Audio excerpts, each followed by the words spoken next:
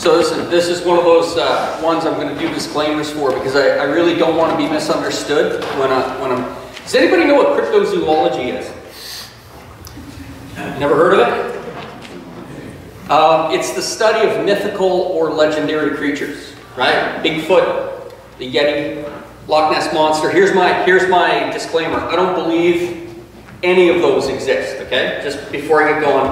I do not believe there's a Bigfoot out there. I don't, don't believe there's a Loch Ness Monster. I don't believe that. But let me, let me put it to you this way. If someone were to ask me, is it possible that Bigfoot could exist? My answer to that question is yes. I'll give you two examples of this. You ever seen, uh, just to sw switch gears, you ever seen there's an old woodcut that they'll throw up on when they're talking about some sort of sea monsters? Once again, sea monsters don't exist.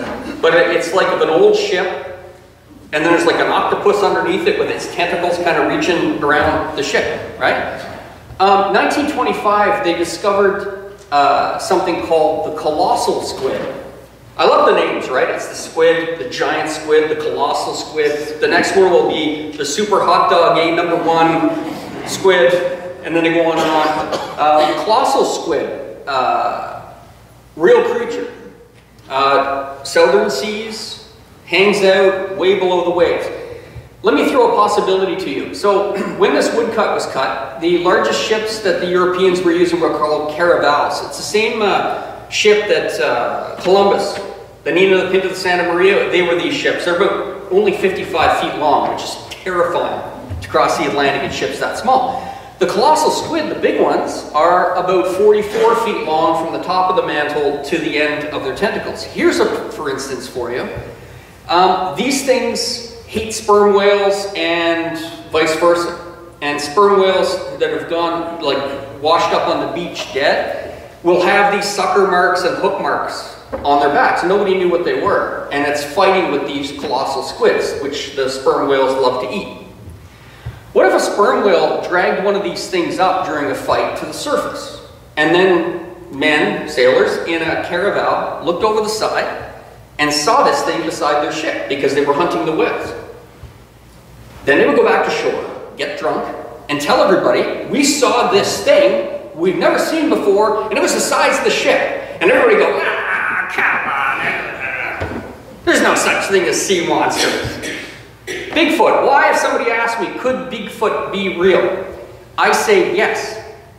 Back in 1935 in Indonesia, they discovered the bones of a primate they'd never seen before. And once they did the estimates of its size, tell me if this sounds familiar, it would stand, would have stood, it was 300,000 years ago, would have stood nine feet tall with reddish brown hair, huge.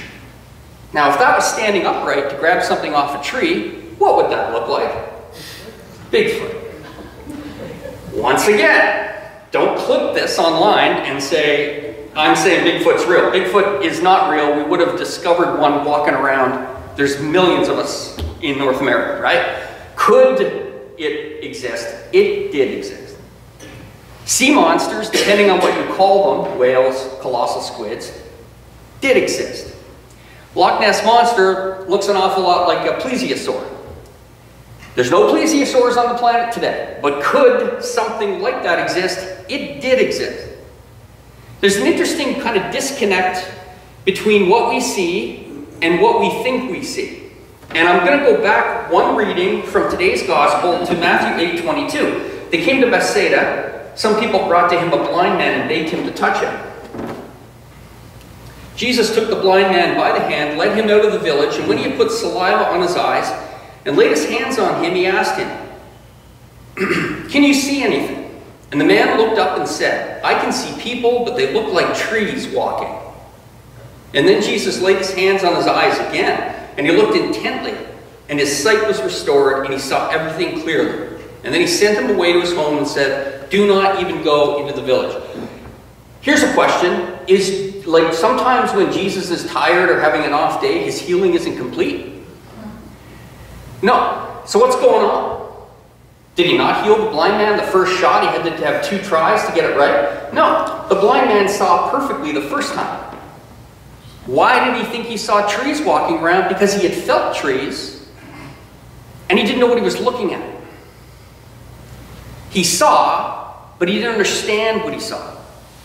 The second time Jesus stares at him, and all of a sudden he realizes that they're people, he puts into his mind the knowledge exactly of what he's looking at. He could see, but he didn't yet understand. And the same thing is going on here when we have this odd, seemingly Jesus once again is having an off day. Peter takes him aside after he tells him that the Messiah has to be taken, killed, three days again, uh, three days afterwards to rise again. Peter doesn't want to see his friend and his teacher killed. So he takes Jesus aside and says that you can forbid this. Don't allow this to happen. And then Jesus rebukes him in turn. Get behind me, Satan. That's kind of harsh. I don't know if a friend has ever said that to you. No one's ever said that to me. I think I would take that pretty hard. Get behind me, Satan. Peter and the others knew intellectually in their minds that he was the Messiah. They'd come to the realization, but they didn't yet understand what that meant. The grace of Jesus Christ had not been sent into their hearts to fully understand the impact of what was being spoken about here. In, uh, we actually read this in morning prayer last week. Uh, the letter from James begins with, Not many of you should become teachers, my brothers and sisters, for you know that we who teach will be judged with greater strictness. If you're going to teach the gospel, one thing that you need to make absolutely clear two things. One, you have to know yourself. And you have to know, like a camera, if you're putting filters on that thing. Have you interpreted the gospel? You think Paul or James or John was having an off day, it was a long time ago, here's what he meant to say. I'll stop you right there and say, you're on the wrong track. The Bible is not there for us to agree or disagree with, it's there for us to wrestle with. I've known people who've memorized passages from the Bible not to gain God's wisdom, but to get at Christians and in their argumentation. That's a person like the blind man from Bethsaida who can see but doesn't understand what they're looking at. They're looking at trees walking around. And for us, we have to understand what we're looking at. Is it a sea monster? Or is it something that we would later call a colossal squid? Is it a tree walking around? Or is it a human being? Is this what Scripture is telling me to do?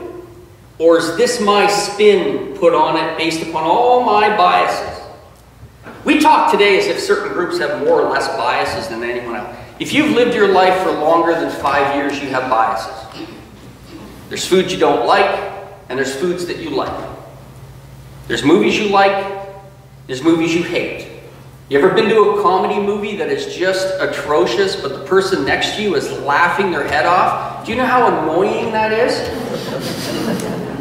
People laughing at garbage comedy, and you're like, what are you? Oh, this is hilarious. They got tears running down their face. We have untold, I'm not even going to put a number on it, untold filters that we look at the world through. This is where prayer is so critically important. To pray constantly and to read scripture constantly and to pray for the grace to see it, not through our own lens, but to see it for the wisdom that God is attempting to convey to us. And not the wisdom that we're attempting to put on the scripture to use for our own purposes, which is a constant danger to us. Constant. And no matter how long you live, 100 years, 105 years, it will continue to be as big a danger now and then as it will ever be. It never leaves. So today when we talk, we like this, this, this beautiful uh, passage of scripture from, from uh, uh, from the wisdom of Solomon. Speaking about the fact, and from Proverbs, wisdom cries out in the streets. In the square, she raises her voice. At the busiest corner, and cries out, Why? Why this image of, of this personification of wisdom crying out in these busy places? Because wisdom is often not heard.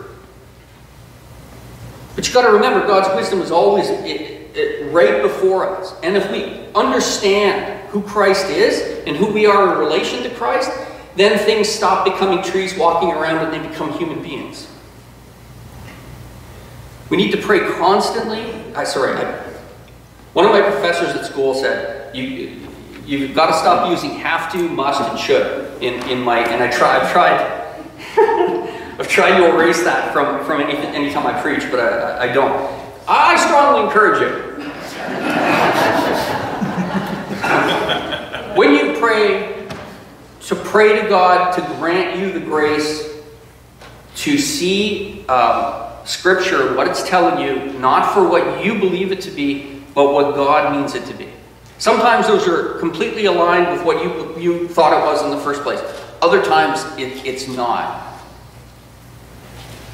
And the important thing is, is that we don't stray away from or fearful of, and God forbid, erase that from our own personal canons because it doesn't align with the way you see the world. This is here to shape us. It is not here for us to shape in our own image. And please remember that.